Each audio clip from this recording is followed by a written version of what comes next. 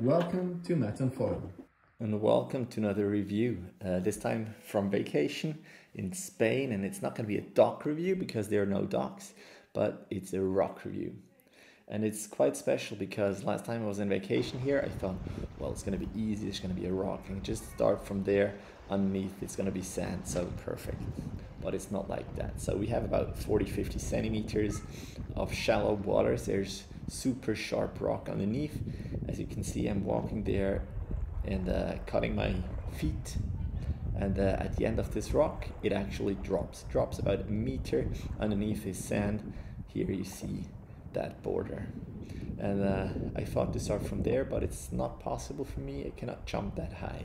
So I saw some of you buying a ladder or maybe uh, buy a chair like Ludo Freefoiler, but it's no option for me. I don't want to buy something and leave it there. So I started to push around some rocks like in Neanderthal. And uh, it was actually quite fun, but also a bit scary. I was scared that the rock would fall on my foot. Now, once I did it, I started to start from there, but it was super wobbly. And when you start pushing uh, to go on your board, and everything wobbles. So that's pretty scary. Anyway, I wanted to start, and I did. And uh, it was quite difficult, but I want to just show you. So here are six seconds of fails.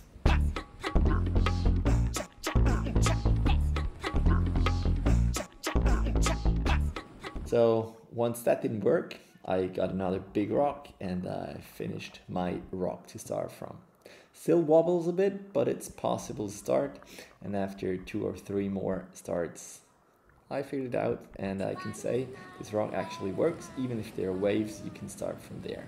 It was the first time for me uh, palm in salt water and uh, you have more lift so the front wing is too big.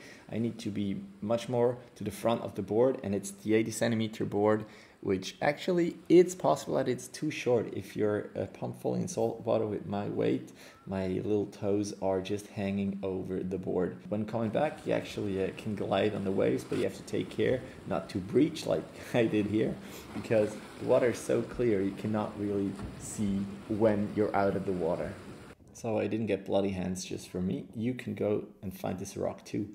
It's south of Barcelona, south of Tarragona in L'Ametlla de Mar, and actually not just in L'Ametlla de Mar, but in Las Tres Cales.